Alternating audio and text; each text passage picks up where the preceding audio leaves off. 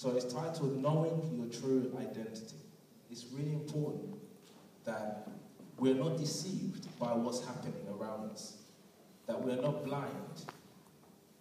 You know, the media and the government will have you to believe that the economy is doing well.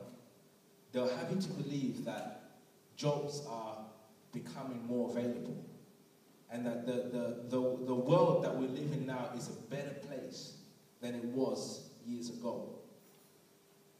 Don't be deceived by this.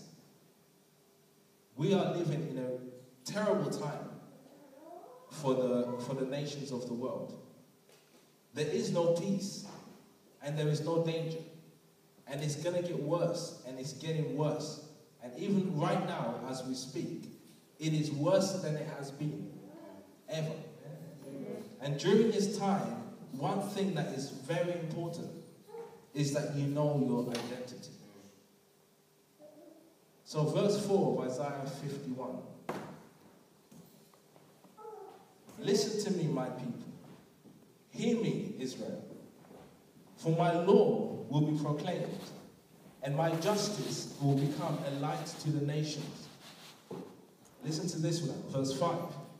My mercy and justice are coming soon. Salvation is on the way. My strong arm will bring justice to the nation. All distant lands will look to me and wait in hope for my powerful arm.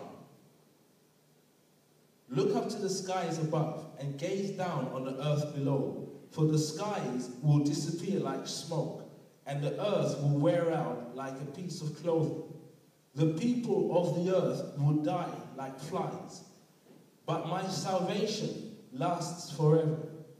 My righteous rule will never end. Listen to me, you who know right from wrong, you who cherish my law in your heart. Do not be afraid of people's scorn, nor fear their insults. For the moth will devour them as it devours clothing. The worm will eat at them as it eats wool. But my righteousness will last forever. My salvation will continue from generation to generation. Hallelujah. Amen. This is the word of the Lord. We're living in this time that is so critical. Some people they'll commit all their strength, you know, to, to have material things, and there's nothing wrong with that. Because we've got to live in, this earth.